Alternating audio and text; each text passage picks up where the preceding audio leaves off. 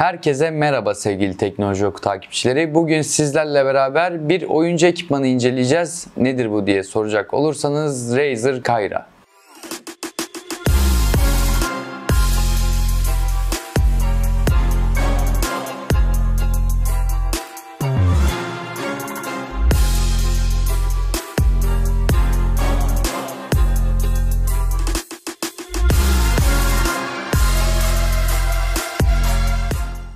Razer'ın zaten oyuncu ekipmanı konusunda bilinen bir marka olduğunu biliyoruz. Hani giriş segmentinden daha çok orta üst segment modelleriyle karşımıza çıkıyor. Yani her fiyat segmentine ait modelleri var. Söz konusu model ise orta segment olarak karşımıza çıkan bir kulaklık olarak sunuluyor. Oyuncu ekipmanı konusunda piyasada farklı modeller var. Kablolu modeller var, kablosuz modeller var ama son zamanlarda kablosuz ekipmanlara olan ilgi arttı. Tabi şunu söyleyebilirsiniz. Ekipman konusunda bir ekipmanın kablolu olması biraz daha mantıklı mantıklı değil mi?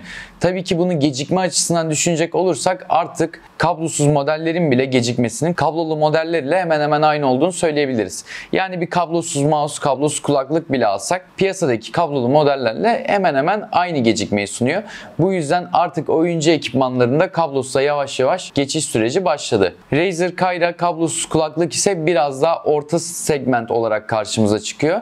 Tabi diğer piyasadaki kablosuz kulaklıklara kıyasladığımız zaman biraz daha ucuz. Fakat özellik bakımından da yine üst segment olarak tabir edeceğimiz kulaklıklara kafa tutar nitelikte. Dilerseniz ilk olarak tasarımıyla başlayalım. Ondan sonra teknik özellikleri ve kullanıcı deneyimiyle devam edelim. Şimdi cihazı elime aldığımda ilk olarak üst tarafta Razer yazısı karşımıza çıkıyor. Cihazın sağ ve sol kulak pedinde ise farklı tuşlar bulunuyor. Bu tuşlar mikrofon açma kapama tuşu, sesi açıp kapatabileceğimiz bir tekerlek ve güç tuşu karşımıza çıkıyor. Sağ taraftaki kulak pedine baktığımızda ise wireless ve bluetooth arasında geçiş yapmamızı sağlayan bir tuş. Aynı zamanda mikrofonun sesini açıp kapatmaya yarayan bir tane tekerlek daha bulunuyor. Cihazın sağında ve solunda Razer logosu bizleri karşılıyor. Aynı zamanda sol kulak pedinden çıkan bir de mikrofonumuz bulunuyor ama bu mikrofonun çıkmadığını belirtelim. Yani sağ sola oynayan kullanıcılara rahatlık sağlayan bir mikrofon fakat herhangi bir çıkma söz konusu değil. Üst tarafında ise yine kullanım açısından daha rahat bir deneyim yaşatmak adına bir sünger daha bulunuyor. Aynı zamanda bu kulak pedlerinin ayarlanabilir olduğunu da belirtelim.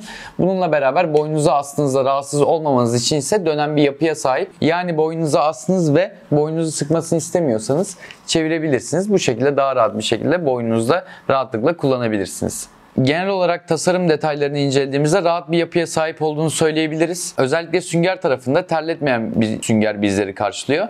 Bununla beraber kafa tarafındaki sünger de yine uzun süreli kullanımda sizlere sıkıntı yaşatmayacak bir tasarım ile geldiğini belirtelim.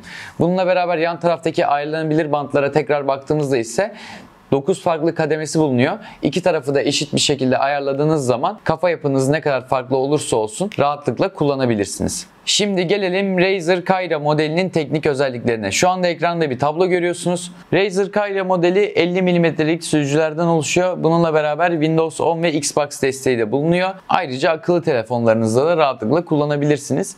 293 gram ağırlık ile gelen model 108 desibellik bir duyarlılık ayarına sahip. Pil tarafında ise 15 saate kadar pil ömrü sunuyor. Bununla beraber Hyper Clear, süper kardiyodit mikrofon ve yumuşak kulak yastıkları sayesinde uzun süreli kullanım deneyiminde yüksek kaliteli mikrofon ve uzun süreli kullanım deneyiminde sizleri rahatsız etmeyecek kulak pedleri bulunuyor. Şimdi gelelim kulaklık ile yaşadığımız kullanıcı deneyimine. İlk olarak kutunun içerisinden iki tane kablo çıkıyor.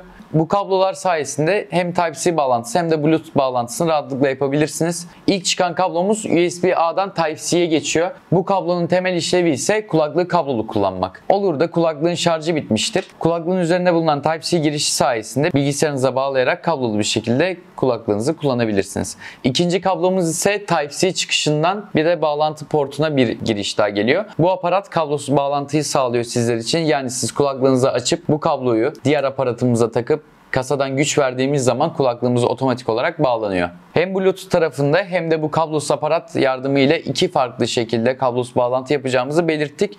Fakat biz bu aparat yardımıyla sizin bağlanmanızı öneririz. Bu şekilde hem Bluetooth bağlantısından dolayı karşımıza çıkacak gecikmeleri yok ederiz hem de bu şekilde daha sağlıklı kopmadan bir bağlantı yaşamış olacağız. Evet gelelim şimdi Razer Kyra modeliyle yaşadığımız kullanıcı deneyimine. Öncelikle şunu söyleyeyim. Ben bu kulaklığı yaklaşık bir hafta kadar kullandım ve bir haftalık süre içerisinde neredeyse her akşam oyun oynadım. Zaten Valorant oynuyorum ve günde 4-5 saati bulabiliyor. Bazen 1 saat oynuyorum bazen 5-6 saate kadar çıkabiliyor. Yani uzun kullanımda kulağı ağrıtmayan bir yapıya sahipti benim kullandığım süre içerisinde.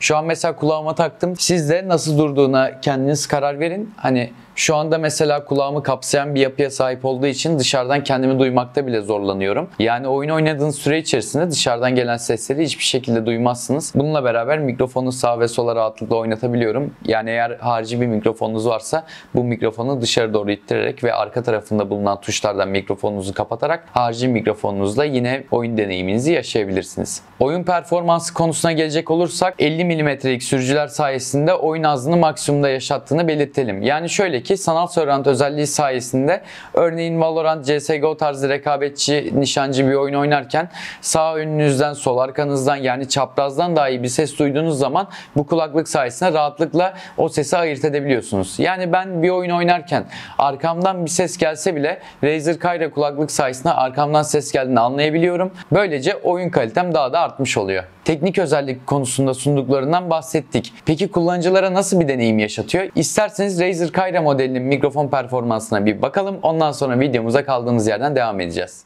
Evet şu anda beni Razer Kyra modelinin mikrofonundan duymaktasınız. Yani oyun oynadığınız zaman karşı tarafla iletişime geçtiğiniz zaman karşı taraf sizi bu şekilde duyacak. Mikrofon performansı sizce nasıl yorumlarda belirtmeyi unutmayın. Evet şimdi gelelim fiyat kısmına. Razer Kyra modeli farklı sitelere bağlı olarak 2000-2200 TL arasında seyrediyor. Tabi geçtiğimiz haftalarda 1700 ile 1800'lere kadar inmiş. O yüzden fiyat takibini iyi yapmanızı öneriyorum. Çünkü fiyatlar çok dalgalı bir şekilde seyrediyor şu sıralar. Fiyatın genel olarak değerlendirecek olursak da kendi segmentindeki rakiplerine göre bir tık daha ucuz olduğunu söyleyebiliriz. Çünkü kablosuz kulaklık dediğimizde fiyatlar tavan yapıyor ve piyasadaki kablosuz kulaklıklara baktığımızda da yine 3000-4000 TL TL'lere kadar çıkan bir fiyat etiketinin karşımıza çıktığını söyleyebiliriz. Tabi Razer'ın bu konuda sunduğu özelliklere kıyasla bakacak olursak da fiyatının rakiplerine kıyasla bir tık daha aşağıda kaldığını söylemek mümkün.